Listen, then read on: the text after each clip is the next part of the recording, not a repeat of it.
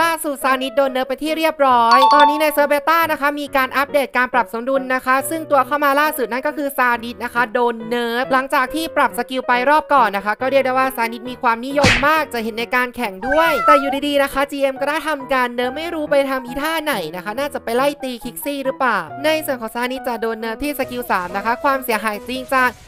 1.0 AD นะคะปรับใหม่เป็นบวก 1.0 bonus AD